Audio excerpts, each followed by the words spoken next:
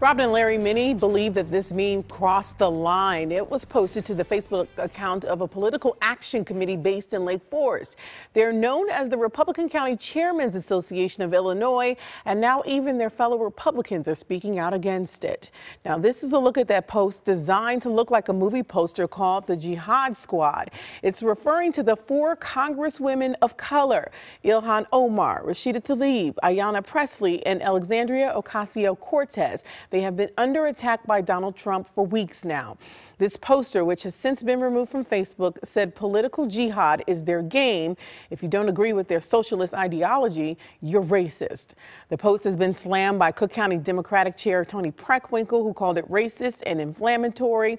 Mark Shaw is the president of the Republican County Chairmen's Association in Illinois. He condemned this post, saying it was unauthorized. He also apologized to anyone who may have been offended. He says the post was a distraction from the policy issues.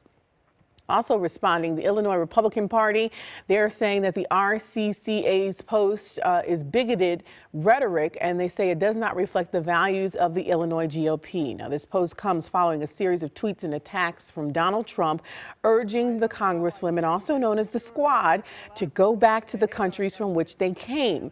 This despite the fact that three of the four women were born here in the U.S. Last night, Trump's attacks on these women continued with him tweeting he doesn't believe they're capable of loving our country and that they owe America an apology.